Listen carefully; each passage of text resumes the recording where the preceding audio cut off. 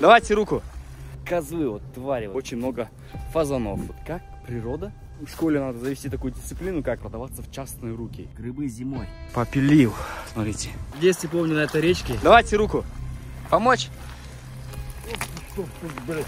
Оба, оба, оба, оба, оба. Оба, пождемте дальше, дальше, даже. Ну что, нарыбачили что-нибудь? А, одного? Во, видали? Грибы зимой. Пахнут вроде неплохо. Как называется, кто знает, напишите в комментариях.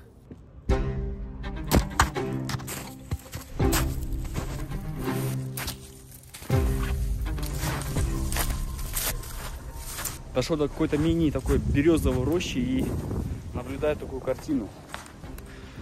Смотрю, вот молоденькие березки кто-то уже попилил. Смотрите, берез уже нельзя трогать вообще. Мне вот всегда было интересно, вот как природа может продаваться в частные руки. Позади меня стоит вот такой шлагбаум.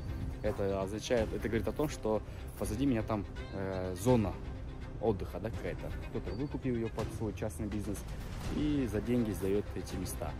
Ненавижу таких людей, которые приезжают на природу, отдыхают, жрут, бухают, э, жарят шашлыки, и потом после себя козлы, вот твари, вот как их назвать, да, и вот оставляют вот такой мусор, да. Конечно, не все это, не все. Есть люди, которые хорошие убирают за собой. Я вообще думаю, в школе надо завести такую дисциплину, как, чтобы она называлась «убирай после себя».